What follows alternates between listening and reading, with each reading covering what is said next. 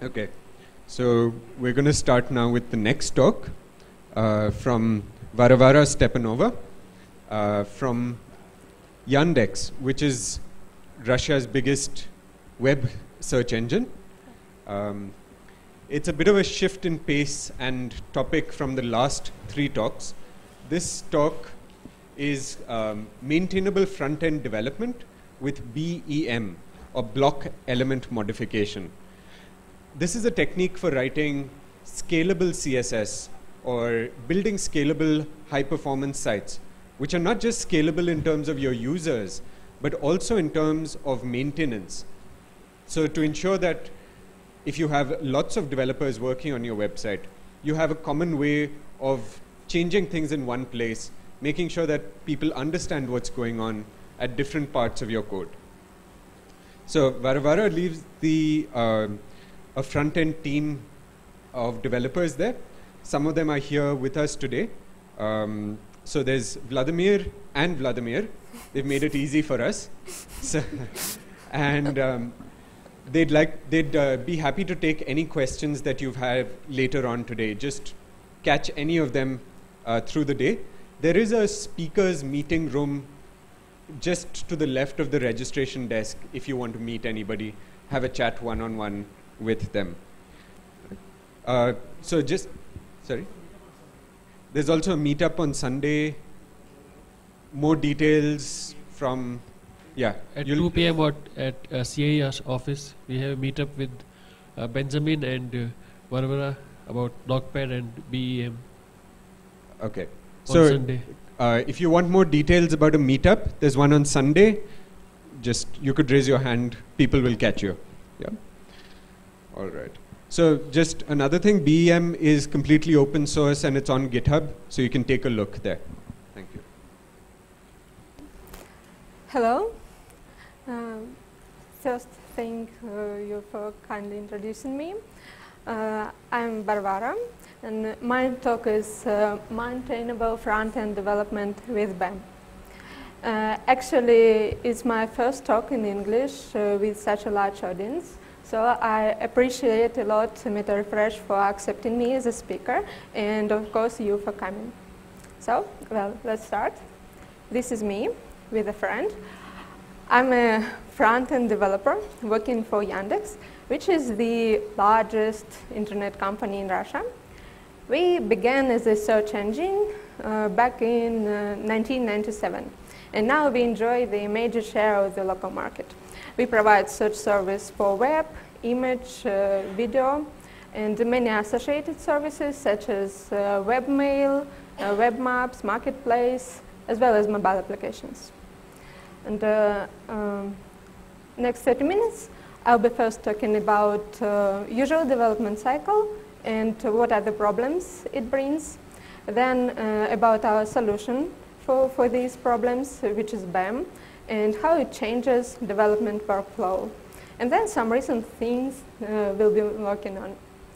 So uh, let's start with describing how things happen usually. Oh, you all know that uh, when you need uh, an interface to be done, um, you first go to a designer to prepare a PSD image of this web interface. And then this image can proceed to a markup guy to be sliced into HTML and CSS. Sometimes you need help of JavaScript Ninja to equip this uh, HTML dummy with some magic. And then uh, when dummy is ready, it goes to a server-side guide to be implemented into a functioning website. And the, these are separated st stages, and uh, every stage takes some time. Well, you can see clocks here, and uh, uh, some time marked red and some marked green. W why? This is because uh, uh, the work uh, done at every stage cannot be fully reused at the next stage. So uh, I marked red at the time this is uh, just wasting. And this is why I uh, call this process uh, lossful.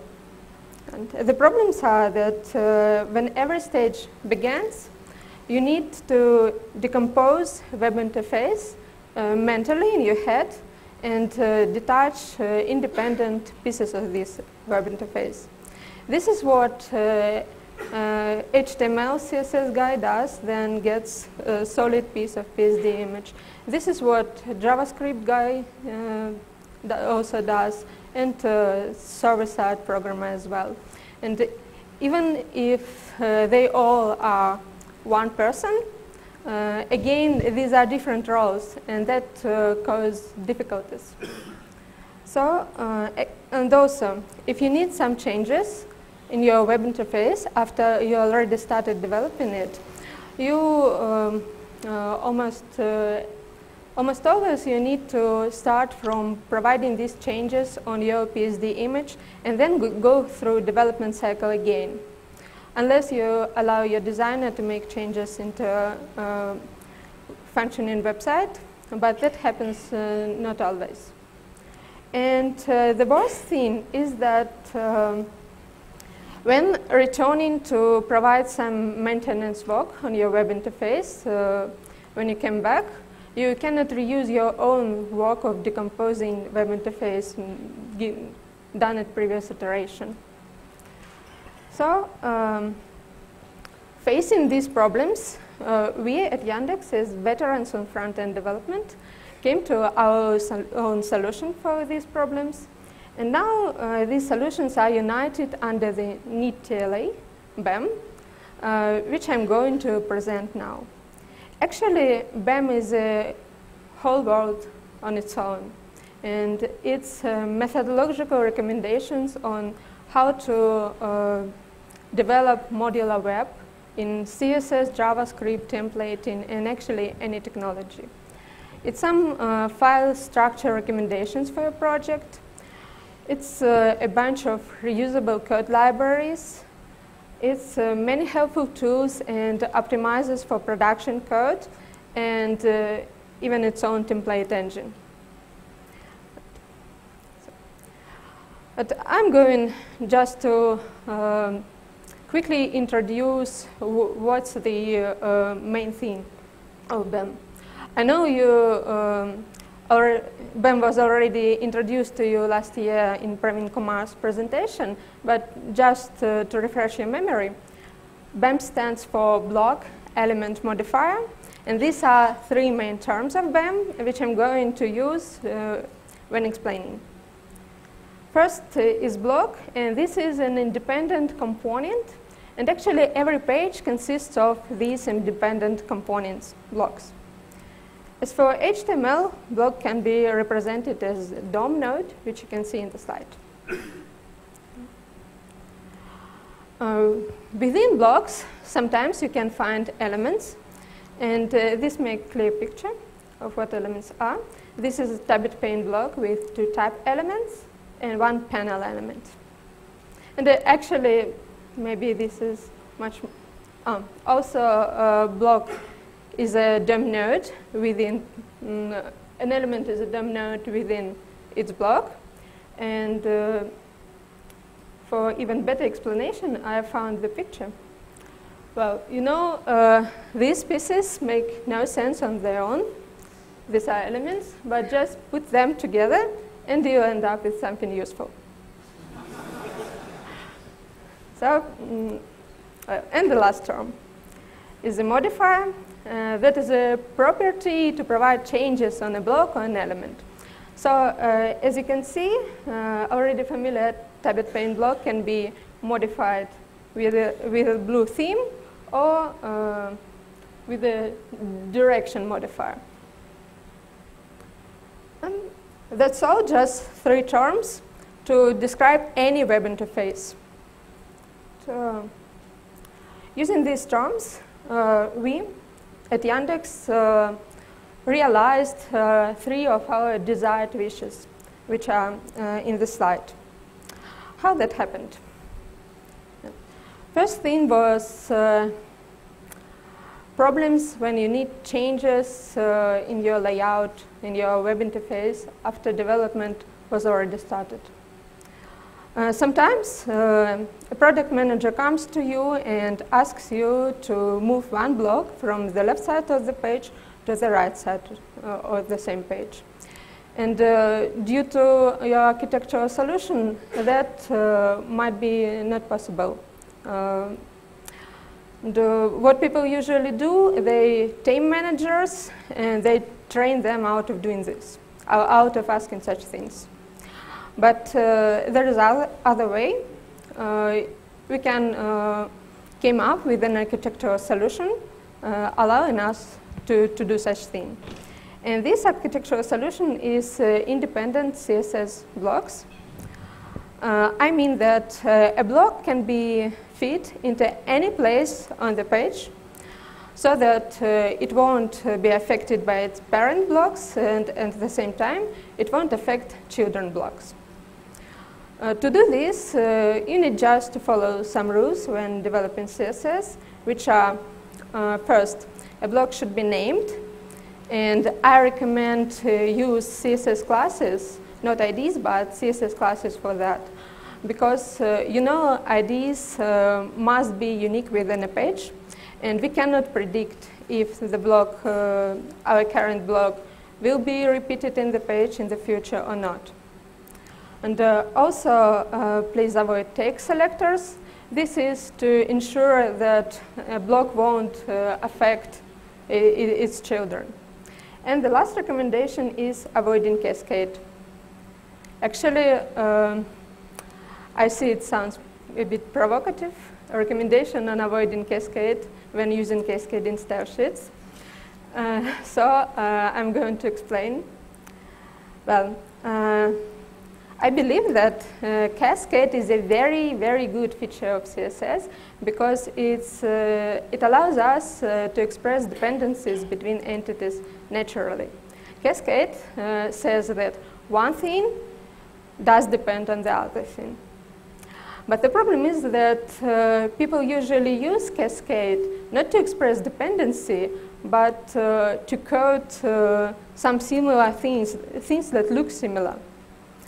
And uh, that uh, causes uh, many problems because when interface changes, you need to mm, you need break this connection between cas cascading entities. And uh, actually, people do something like this, or even worse. And they add even more connection in, in, into their system, and that uh, turns code into spaghetti. So this is why avoiding cascade helps uh, keep your code nice and neat. And what's more, it helps uh, improving uh, rendering performance. Uh, actually, uh, I know that this information uh, may be not new for you because I've seen a link shared in a Facebook group of Bangalore front-end developers, and the link explained the stuff. Uh, but for those of you who need some proofs, I placed the link in the slide, and you can check out and see how avoiding cascade helps with rendering.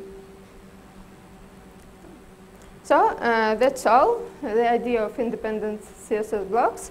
And now who uh, uses this? Of course, this is ours, Yandex. And uh, you can see link in the slide. This is for those who would like to have a deeper dive uh, into this stuff. This is my previous presentation uh, given in Riga, Latvia. I turned it uh, into a very well illustrated text, and actually now it's, uh, it's an article, and it uh, explains at length uh, what to do when uh, for implementing independent CSS blocks and why. also, at GitHub, guys uh, faced sa the same problems in CSS, and they came, came up with very similar solution, uh, which you can uh, which you can learn from, from the link, again in the slide. This is uh, their slide from presentation where, uh, where they explained their solution. Then uh, I'd like to introduce you inuit CSS framework by Harry Roberts. This is a guy from United Kingdom, and it uses uh, BEM principles uh, to implement uh, to develop his framework. And also he uh, published a lot of articles with explanations. And of course, uh, I can't uh, help mentioning very famous object-oriented CSS and SMACSS frameworks, which are also modular solutions in CSS. It's actually very fashionable item.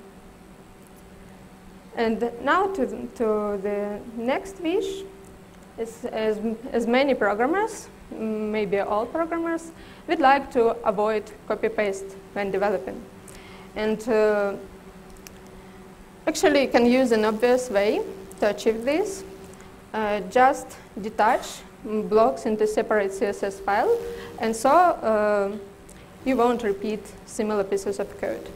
Uh, with such detaching, uh, you can have uh, a bunch of blocks uh, in your project, and then you can use the, these CSS pieces to build up your CSS for pages using an import keyword. Now, that makes it possible to share code with friends, emailing, or even better, you can use version control system to store your blocks and share with everywhere. This is how uh, libraries of blocks can be linked to a project, uh, to several projects actually, from uh, libraries repository.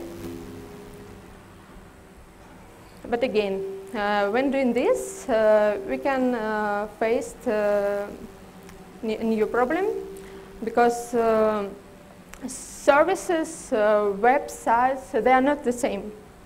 They are um, a bit different. even uh, services of one company are a bit different. And so we need somehow to provide uh, changes uh, from service to service, somehow tune block, blocks from, from the library. And this is where um, I need to introduce you the fourth term, I promised the last, which is block level. Actually, uh, every bunch, every group of block uh, is a block level, and library itself is block level. But the same uh, service can, has, uh, can have uh, its own block level so, and somehow tune uh, blocks from the library. Let's see how that can happen.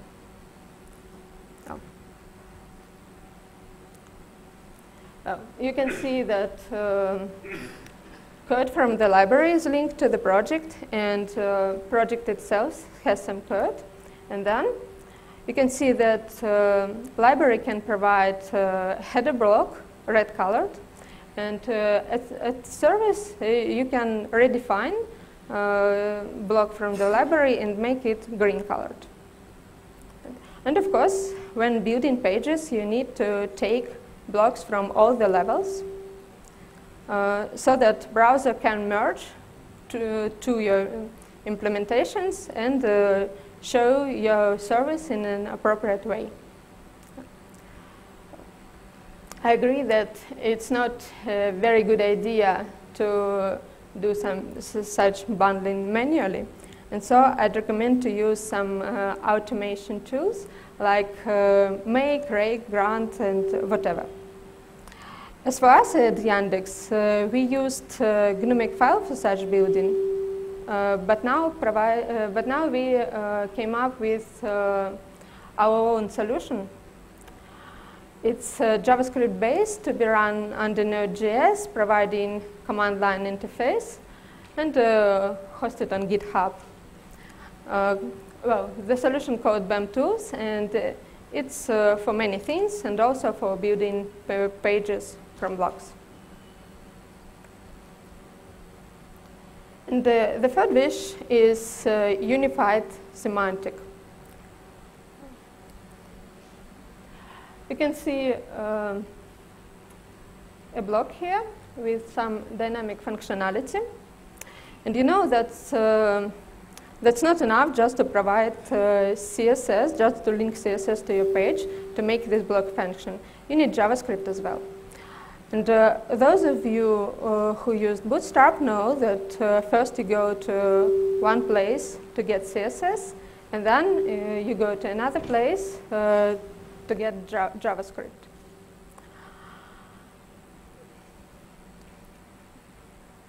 Uh, the other solution called Components by T.J. Holowaychuk uh, knows that uh, components uh, need both CSS and JavaScript, and so do we at BEM.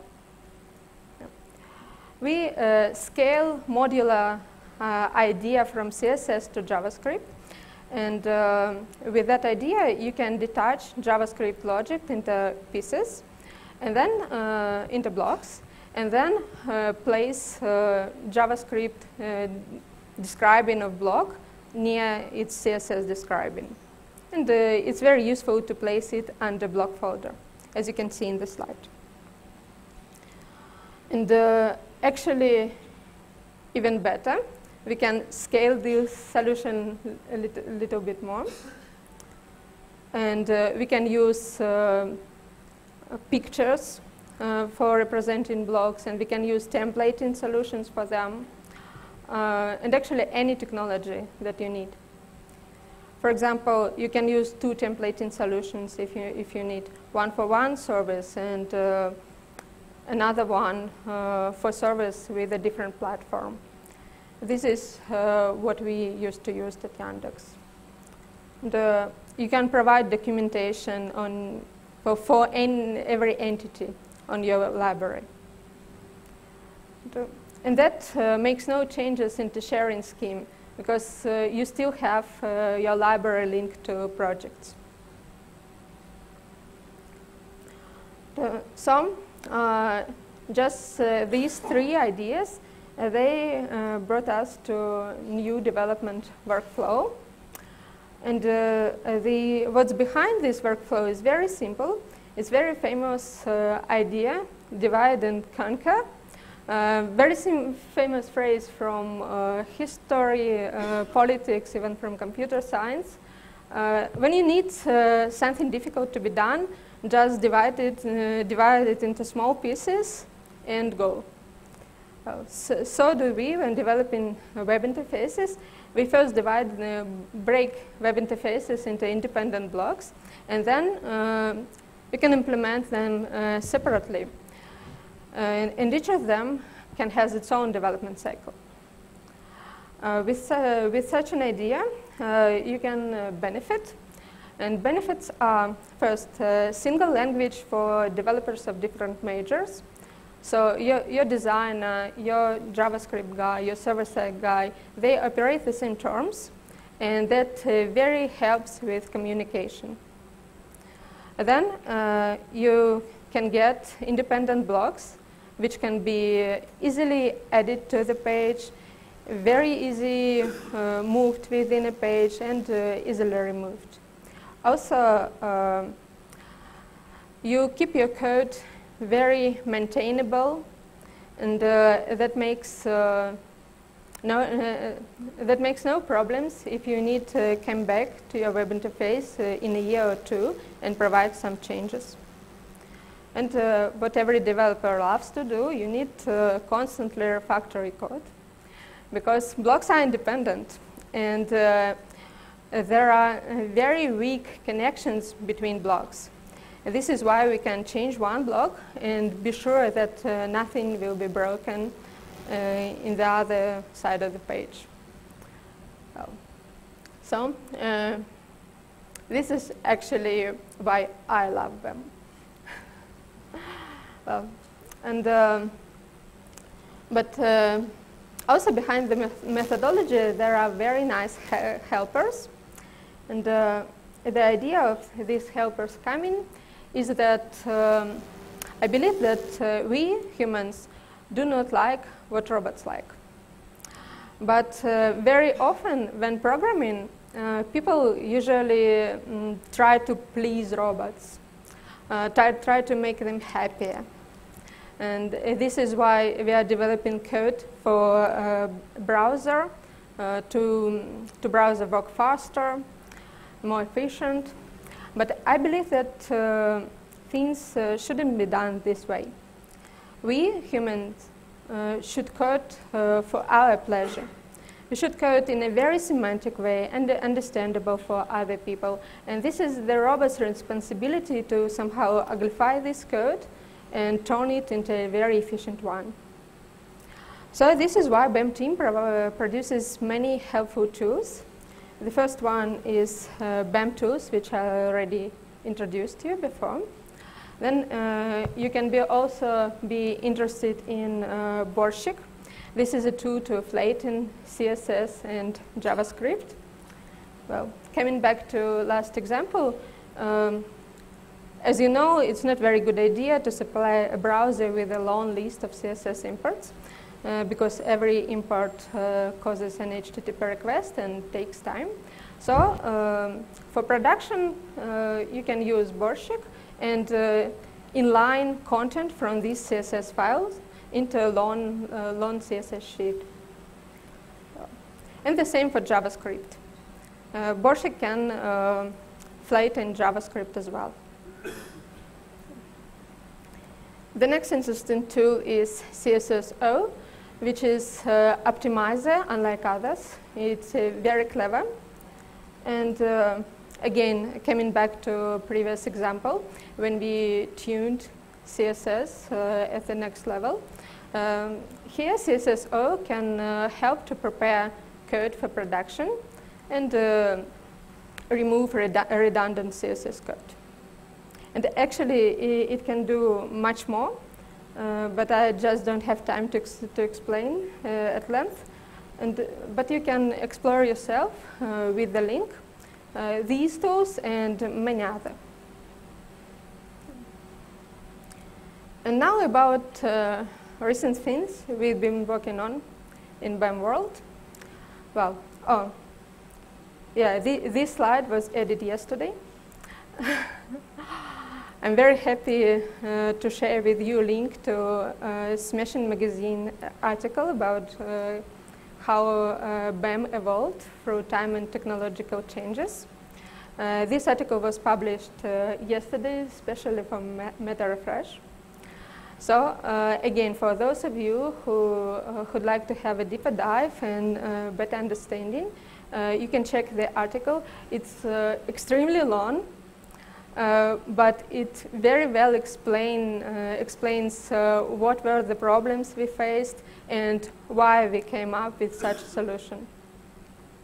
And uh, for things uh, which are under development now, well, we at Yandex now have common library, our internal library of blocks that provides over a hundred of interface components.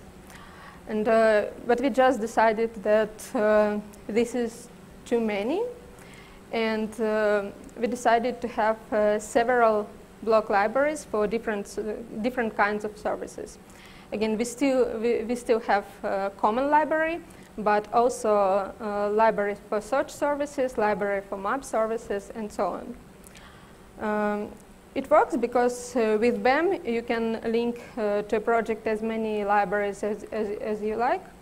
And so uh, here you can see a project uh, using uh, common library and search library and maps library at the same time and also tuning all those, these libraries at its level. But uh, to make it function, to make it workable, we need for every library we need to provide a website with uh, documentation and examples of uh, every block, how to use it. And also the, the team developing such a library uh, must follow workflow, uh, which is uh, they must provide change logs from version to version. And uh, it's very good idea to use unit test when developing a library. before, we did it uh, without thinking how to share this solution. But uh, since we have many libraries now, we uh, started to develop a special tool that helps uh, uh, to generate documentation for a library. And uh, well, actually, this is in progress, but it's the link to its repository. It already has some description, and uh, you, can, uh, you can check it out. Well, that's all. Now, uh, what you can do with all this stuff. First, you can follow recommendations and uh, use um, modular idea when developing uh, in any technology, any programming language. It might be CSS, JavaScript, templates, or whatever. And also you can uh, follow file structure recommendations uh, if you like them. Uh, for building, uh, you can use your own tool or uh, just pick up BEM tools, which is uh, open source and absolutely free. Um, you can participate in the project, as, I, as I've already said, and as uh, Jack ki kindly said also. And why I'm here. I know that uh, uh, there is uh, uh, a lot of uh, IT companies here, and I guess that you also need some distributive solution for web interface. And so you, you can borrow our experience and um, implement your own libraries of blocks. They can be either closed source in-house libraries or even better open source library. Uh, if such, um, if such libraries happen, I'll be very, very gladful to share them in Twitter or uh, when presenting in the future. So, um, for further information, you can uh, go to uh, our official bem.info website. There are articles, tools, and explanations there. And, uh, now, thank you very much, and uh, I'll be happy to answer your questions.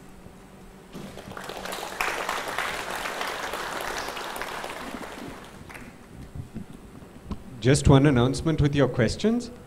Be loud and clear. Uh, speak into the microphone, please. It's much easier for everybody in the cameras to catch it as well. Should I go? Hello.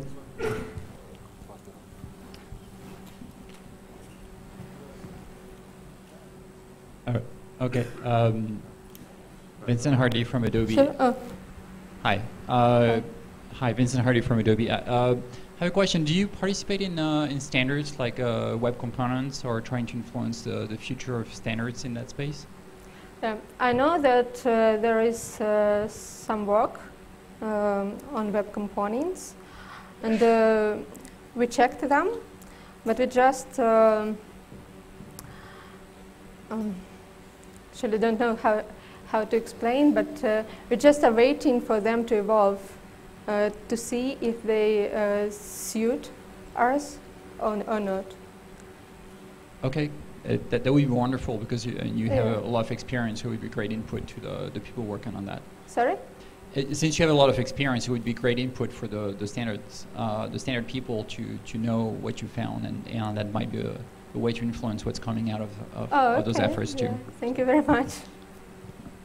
Hi. uh, my name is Rajeshwar. I've been a practitioner of BEM for the past one year, and I like OOCSS, and uh, I also read SMACSS.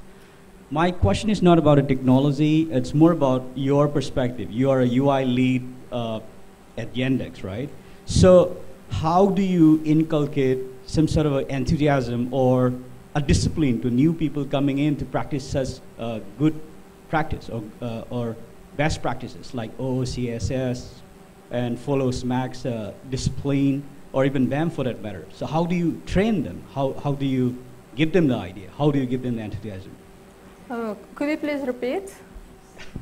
Okay, so uh, you are UI lead, right? Yeah, yeah, So lots of people work on lots of people work under you. When new people come in, right? CSS HTML is a very broad thing. Everybody just starts writing. It's like a double-edged sword. You can either swing it the right way or the left way. So how do you inculcate or how do you help new people to practice these best practices like oh, OCSS, SMACSS discipline, or even BEM for that matter? So how do you train them? How do you make them happy that this is the right way to do it? Because in CSS, you can do it everything in a wrong way and still never realize that that's a wrong way. So, uh, is the question about how we teach new people in the team? Yeah, you can answer that, that it will solve the problem. Actually, uh, um, in Russia, BEM is very popular, and sometimes uh, there is no need uh, to teach. Uh, but this is uh, because uh, we, BEM team, uh, take part in many conferences and provide many content uh, in Russian.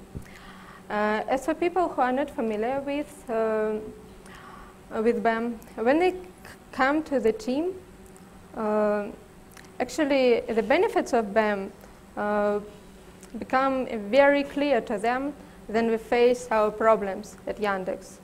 And so they just open documentation site. Um, we have uh, our in-house uh, library very well documented. They just open the site and learn from it.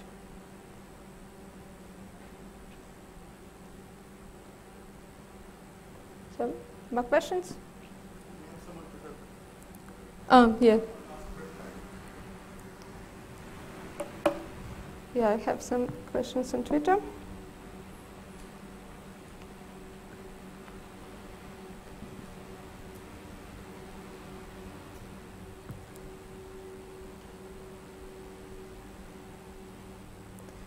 Um, Bootstrap gives a robust and maintainable framework.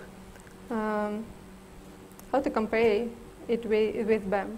Actually, uh, we cannot compare it because uh, Bootstrap, uh, as you said, Bootstrap is a framework and uh, BEM is a methodology how to build your own framework.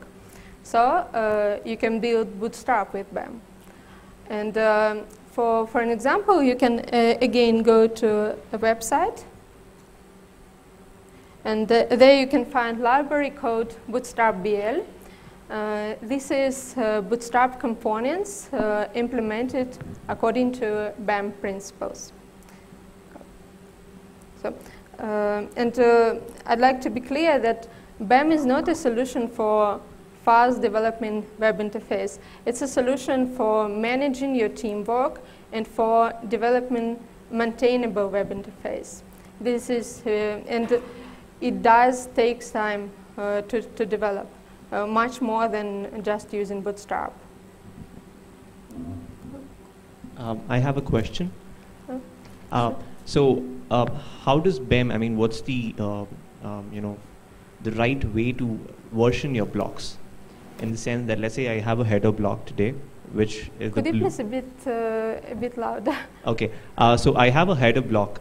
Mhm. Um, so today it's a blue color header, and tomorrow I change this to a green color header, for instance.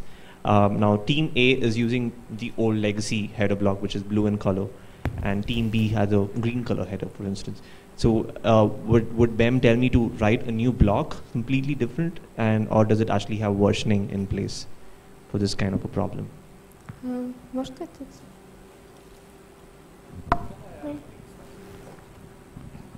Hello. Thank you for the question. Uh, uh, we have also, it, BEM is not just a methodology. Uh, we have uh, special tools to uh, develop with BEM, and um, they provide us possibility to uh, just um, start development server, which uh, check uh, the libraries changed and your local changes and uh, build the final runtime together. So when um, library developers change something, you just uh, can refresh your page in the browser, and um, if you didn't freeze on the uh, revision of the library, you will get new code without any troubles. And um, it not just for CSS, it also will work for JavaScript or even templates. Again, uh, uh, again, a question from Twitter. Uh, modular CSS is making markup and painting heavy. How to strike the balance? Uh, I guess this question was uh, answered before I presented uh, optimizing tools. And uh, this is uh, the idea of programming uh, I introduced. We develop not to please browsers, but to make it's easier to code for ourselves. And this is the next step to optimize code to make it not so heavy and much more efficient. Did I answer? Hello.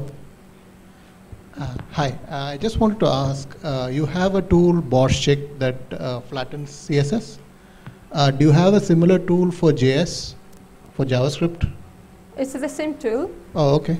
Uh, So, uh, how, how do you deal with namespace collisions and things like that? Uh, again, please. So in JavaScript, it's just a little more complicated because you have, you know, you can you can have same the same function name in different blocks and things. Correct?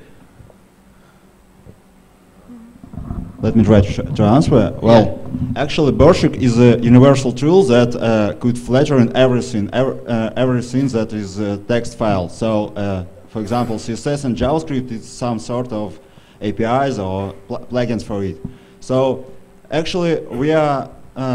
It doesn't. Uh, uh, it doesn't resolve some namespaces or just. It just flattering. It just. Uh, uh, it just flattering the files. So. The so our so we're trying to write our blocks as so uh, with no uh, with no uh, garbage in uh, some glo- global spacing. So our blocks are usually closured with some sort of Okay, closure you- function. So, So, you basically module put it inside a module. Yep, So yep. do you use anything like uh, Require.js or any standards around modularization of JavaScript? uh, actually, no, I guess. Uh, as I know, no, we, we don't Yeah, use. and uh, we don't need this uh, because um, uh, we use Borschik. And uh, as for developing, uh, we use uh, special mm, special command uh, provided by BEM tools called BEM server, and uh, it flattens uh, when you're developing. You can change file and then refresh a page, and uh, it immediately flattens all what you need. So, so this BEM server you'll be running on your machine, and so you can ch- check to see if there are any Yes. collisions and things like that. Yes. Okay, cool. Thank you. Hi. Um, Uh, oh. hi. Uh, so I wanted to ask you when you started off your talk, you mentioned about uh, the old process where you make Photoshop and then HTML, CSS, and everything, right? Um, how does this uh, change that that part of the the initial part? Like, what does the designer who works on Photoshop have to do differently to um, you know adapt with this process, or does it not matter to them at all?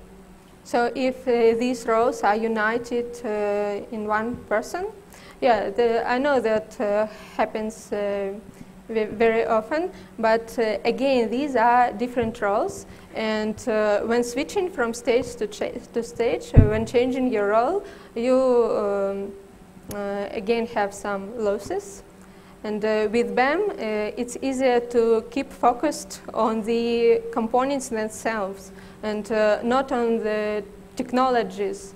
Uh, because uh, with BEM, interface components, blocks, they are primary, and the technologies which are used for implementation, they are secondary. It- so